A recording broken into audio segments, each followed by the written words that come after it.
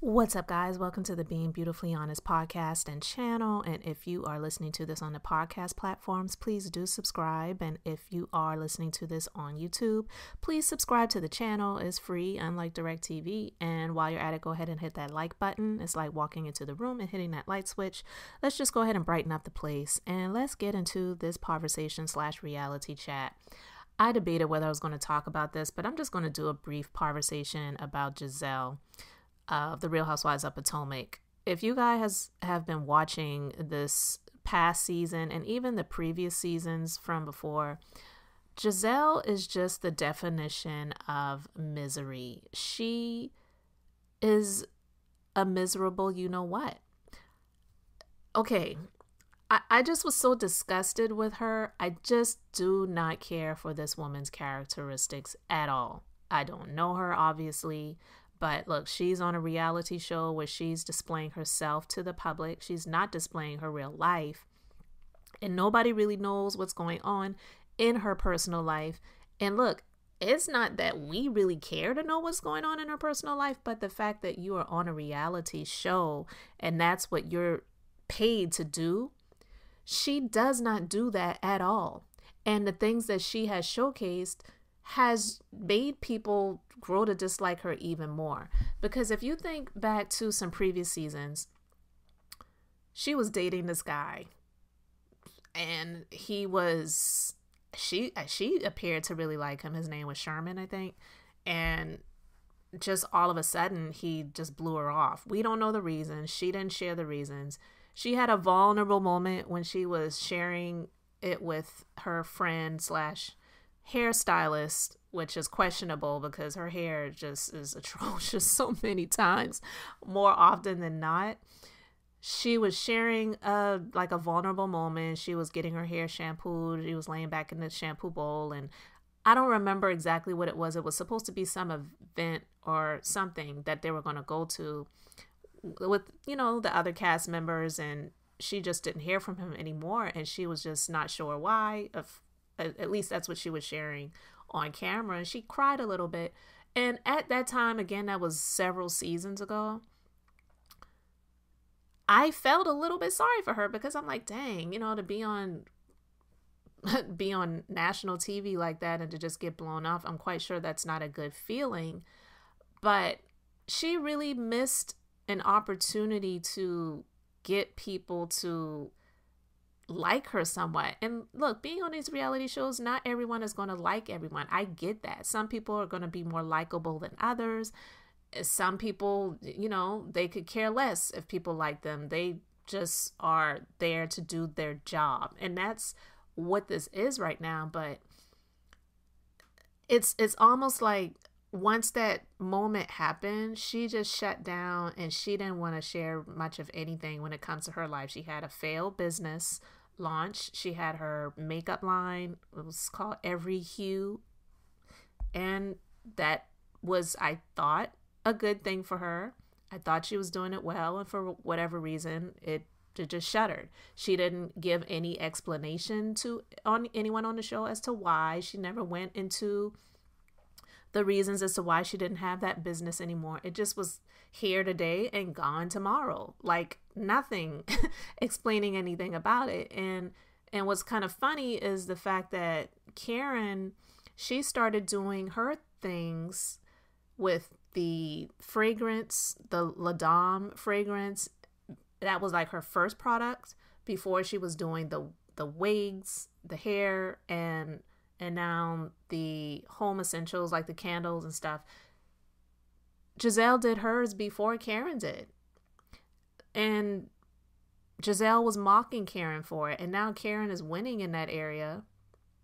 And she's mocking Karen as much as she possibly can, trying to make Karen t- out to be a hoe. And she's sleeping around and she's got boyfriends. And, and like some of the things that were just being said was just pretty pretty gross. Look, I don't know if the things are true or not. And I'll be honest, I it, the way Karen kind of blows things off a little bit or she just doesn't say, "Look, that is just not true." Like you guys are really reaching. Like just be straightforward with it. It it makes you some people may question a little bit, especially after this this last episode, the grand finale, when Mia confronted Karen about it. And we know Mia is not the most honest person, but Mia was, she pulled her to the side and she asked her about some things. But this isn't about Karen. This is just to say Gizelle has done some some devious things in the name of misery. When she made the t-shirt up and she was calling you know, calling Karen and Ray out on their tax situation and just other things that was going on. They tried to expose Karen with her home and saying, you know, does she really live in Potomac and all this other stuff. It was just like stupid, petty little girl stuff. Not, you don't you don't think of a woman of a certain age, their age, would be doing things like that and and having low blows. But the reason being is because Gizelle is just the definition of misery. And she's a beautiful, miserable, you know what? Because she's got the outer beauty for the most part. She's an older woman, you know, people call her some names. They talk about her cankles and her neck and, you know, some different things like that. I you know, I think Gizelle is pretty. I don't I don't doubt that she is a beautiful woman, but her insides and her actions just make her look so ugly. And so when she was calling Karen out on different things over the past several seasons, it was definitely out of a space of misery and jealousy. Karen, whether people believe she's stepping out on her marriage or she and Ray have an agreement, really that's nobody's business, to be honest with you, because for the most part, I believe Karen is as upfront as she wants to be on this show with showcasing her life is definitely more than Robyn and Gizelle can say. So on this last episode, on the grand finale, it was Candiace's video video party, video reveal for her song Insecure. And at the end, this is the reason why I wanted to do this conversation. At the end, of the episode, the confessional with Gizelle, and I guess whoever was doing the confessional asked Gizelle, like, what did she think of the song? Because you never hear in the confessionals really when they ask them whatever question they're asking them. So we just really see them speaking about things. But we know for the most part, it's a question or questions that are being asked and they're speaking on it and they're elaborating a bit. But she was just hating on Candiace completely she was like, "What? What I think of Candiace's song? What? I don't. I don't even remember the song." You know, at that moment, I was just like, "This woman is just the definition of misery." That's when I said that. That's when I said that. I've thought it before, but that's when I actually just said it out loud. I said, This woman is the definition of misery. You are so jealous. Candiace has gotten on this show and she has risen as much as some people don't like her and they call her out for her comments and her tweets. Candiace has definitely risen to the occasion. Nobody can take that away from her. She came on the show and she took it by storm. She has become a music artist, something she said she's always dreamed about.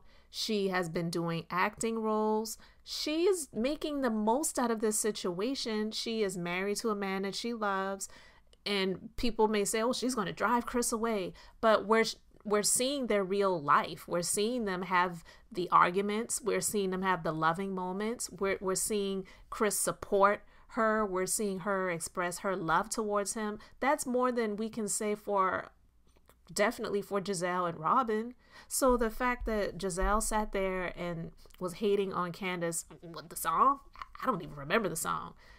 But then you're being fake in her face saying thank you so much for inviting me. This is this is great. You're just so fake. Why did you even come if you don't like her? And then at the the video launch party she had the nerve to say well you know can i talk to chris now?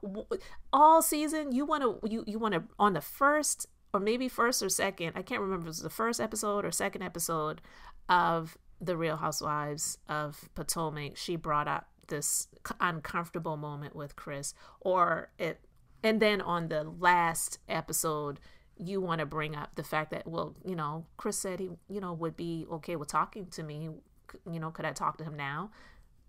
Really? After all that time after all of those months because the show wasn't filmed in 2 weeks And then you're going to try to do that at her video launch party. Like, that's a place where she's doing something big and she's celebrating, and you think that he wants to be talking about this lie there. Like, you have got to be kidding me, right right now. And so, yeah, she is definitely the definition of misery when it comes to her being on this show. I just don't know what her place is. I don't even know why they gave her the title of executive producer. Executing executing what? Like what what is she doing? She does not need to even be on the show anymore. I'm just so over Gizelle. She is this person that just comes to stir confusion and drama. She does not reveal anything about her real life. And hey, her real life may just be exceptionally boring like mine like all i do is work like seriously like th- there's there's nothing to really see there so i would never think about being on a reality show but i'm just saying if you're going to be on the show and be making the type of money that you're making and all you're doing is stirring up drama and hating on people like why are you here why are you here i'm over Gizelle being on the show she is the definition of misery. She was just there to hate on Candiace. And then to, I, I can't wait to see the reunion. I really can't wait to see Candiace's reaction to Gizelle. I can kind of predict it, but I'll wait to watch it and see what is actually said because I don't know why Candiace would think that Gizelle was her friend. I mean, I remember the first season that Candiace came on the show. Gizelle was hating on Candiace from the word go. as soon as they were rolling. She was like, Who is this girl? Where'd you come from? And Candiace's response, I'll never forget it. I come from Jesus. I was like, Yes, girl, say that. so I liked her then. I uh, you know, I just I liked her then. I've never been a pageant girl, never been into the pageant world. And I know that's where she comes from, but it, you know, I just like Candiace's personality, and in my opinion, I just love how she just like immediately snapped back at Gizelle. And that's what I liked about Monique when I did care for Monique when she used to be on the show. When Gizelle came at her and was like, You don't have a home? And she's like, I have four homes. and at that moment, I was like, Yes, let her have it. Again, misery, miserable, jealous. I am just over this woman being on this show. And so, this is what misery looks like, people. Let me know your thoughts about everything that I talked about let me know if you think Gizelle should be coming back to the Real Housewives of Potomac. And guys, thank you so much for listening to this content. I really appreciate it. And subscribing to the channel if you have not already done so. So, guys, until the next time, this is Beth, and I'm just being beautifully honest.